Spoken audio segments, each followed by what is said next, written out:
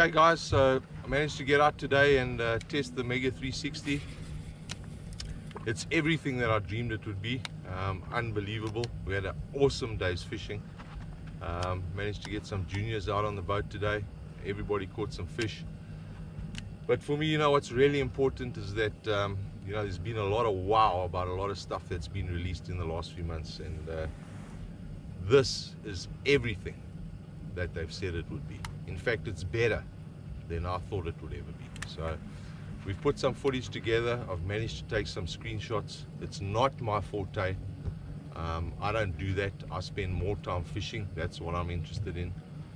But I've, I've managed to get some screenshots done. I'll try and get some more done in the next day or two while we, we're doing the whole process.